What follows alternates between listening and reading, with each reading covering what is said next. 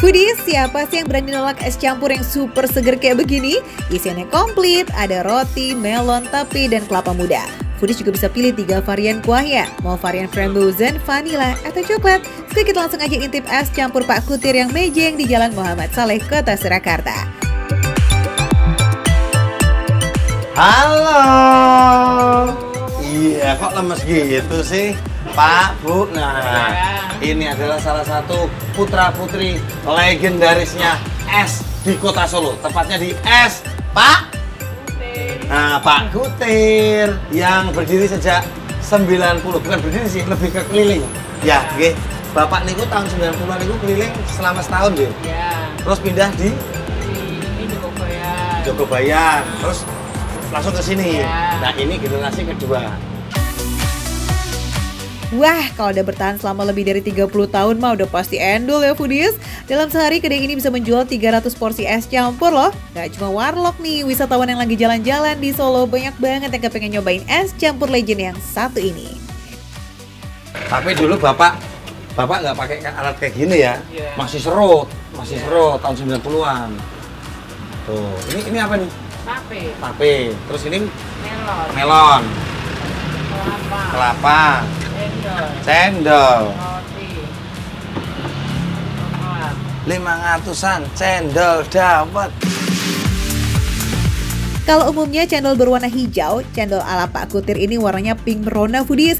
Warnanya aja udah bikin salfok, hmm, apalagi rasanya ya kan? Pastinya jos gandos nih foodies.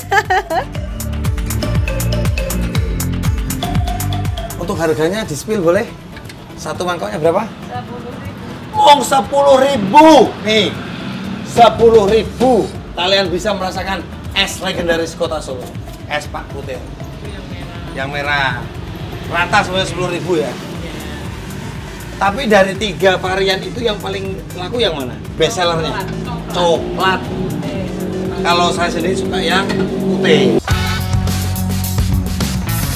Lihat aja tuh mangkok pesanan Erik warnanya macam-macam ya foodies. Ada putih, merah, dan juga coklat. Wih, sungguh menggugah selera ya buat segera diseruput em. Langsung aja kita coba ini favorit ini. Hmm.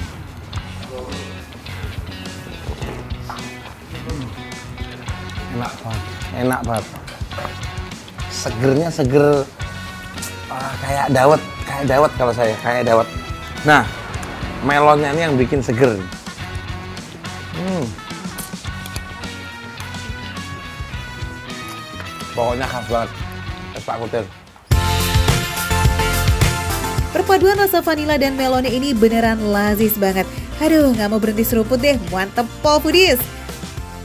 Di Pak Kutir yang paling best seller itu antara tiga varian itu yang coklat. Di sini saya pengen nyoba yang coklat ya. Hmm. Hmm. Isiannya sama. Yang membedakan sirupnya. Tingkat kemanisannya sama yang putih tadi lebih manis yang coklat. Cuman coklatnya nggak bikin enak. Coklatnya coklat apa? Hmm. Coklatnya coklat ini nih. Dari bahan premium lah. Ini rahasianya Pak Kutir di sini nih. Manis dari coklatnya asli bikin mau lagi dan mau lagi ini mah ya. Apalagi dipadukan dengan roti dan kelapa muda. Hmm, ngeblend bener. Varian frambozen juga nggak kalah lazis loh. Rasanya kelop bener di lidah. Endes.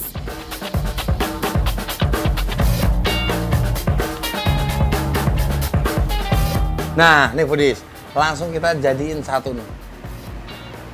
Nih, tek.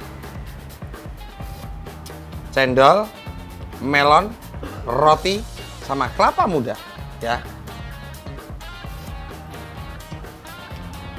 Hmm. Kalau kalian ke kota Solo pas kota hawanya lagi panas, langsung aja ke Pak Kutir. Pas banget saya pastikan rasanya enak banget. Wah, sebagai putra daerah asli Solo yang dari dulu udah jadi langganan di es campur kutir, rasanya nggak pernah berubah ya Erik ya, tetap resepnya mantul. Nah Foodies kalau udah sekali icip nih pastinya kepengen repeat order karena enak. Cus yang pengen menyegarkan tenggorokan ya udah langsung datang aja ya di Jalan Muhammad Saleh, Setebelan, Banjarsari, Kota Surakarta. Makan receh, menu receh, tapi rasa nggak receh.